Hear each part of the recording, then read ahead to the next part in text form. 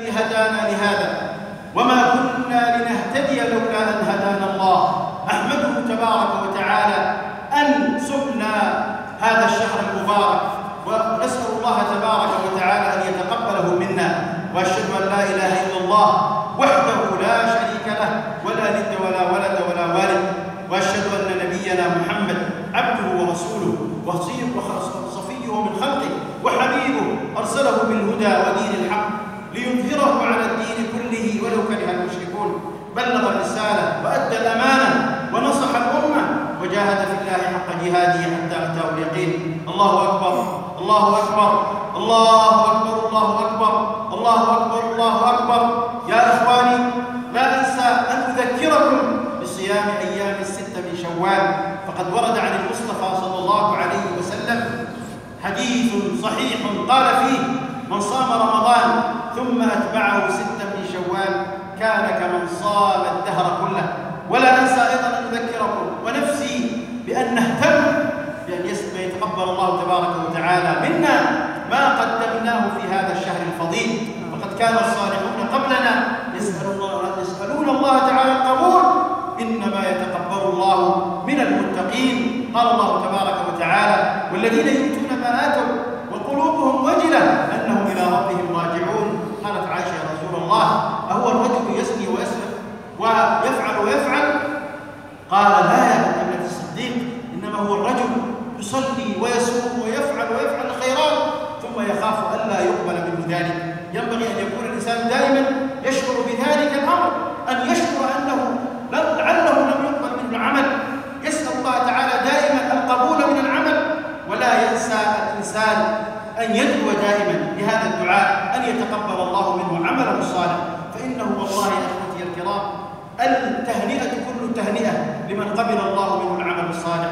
والعزاء كل العزاء لمن حرمه الله تبارك وتعالى من قبول العمل الصالح فإن النبي صلى الله عليه وسلم ذكر لنا بدعائه المشهور رغم أنف رجل أدركه رمضان ثم لم يغفر له. حديث عظيم لإخوتي الكرام ومخيف ووعيد شديد والله يا إخوتي الكرام. من منا ضمن لنفسه أنه قد قبل منه العمل قد قبل منه الصيام قد قبلت منه الطاعات كلها لا أحد يعرف. الله تبارك وتعالى وحده يعلم.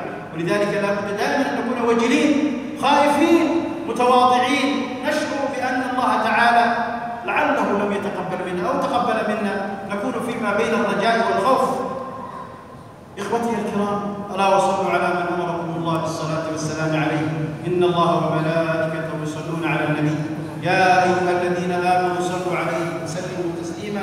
قال صلى الله عليه وسلم من صلى عليه صلاة صلى الله عليه بها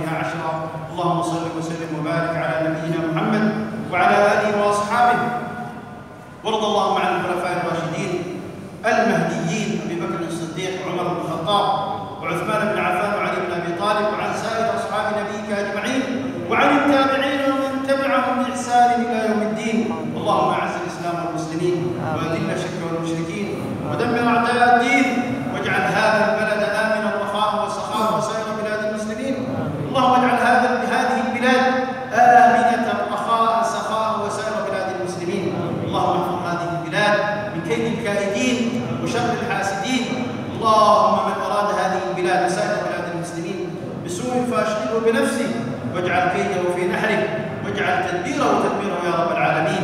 اللهم احفظ هذه البلاد واحفظ قادتها واحفظ أئمتها والشعوب وشعبها وقاطنيها وكل من فيها يا رب العالمين.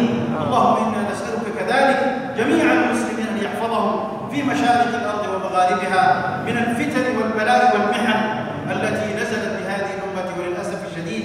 اللهم إنا نسألك يا رب العالمين أن تنصر الإسلام والمسلمين. اللهم إنا نسألك النصر للمسلمين بل للمستضعفين للمضطهدين. اللهم فرج هم المهمومين ونفس كرب المكروبين واقض الدين عن المدينين واشف مرضى المسلمين وعاف المبتلين وارحم موتى المسلمين الذين شهدوا لك بالوحدانية.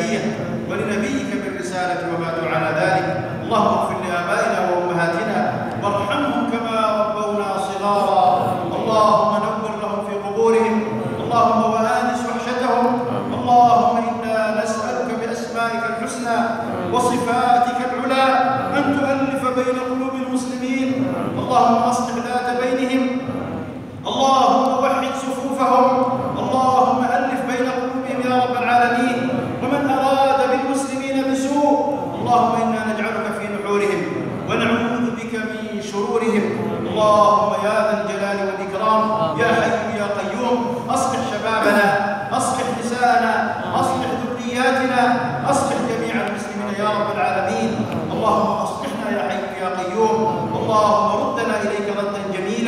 يا حي يا قيوم برحمتك نستغيث ومن عذابك نستجير. أصلح لنا شأننا كله ولا تكلنا إلى أنفسنا طرفة عين. ربنا ظلمنا أنفسنا وإن لم تغفر لنا وترحمنا لنكونن من الخاسرين. الله أكبر الله أكبر الله أكبر الله أكبر الله أكبر.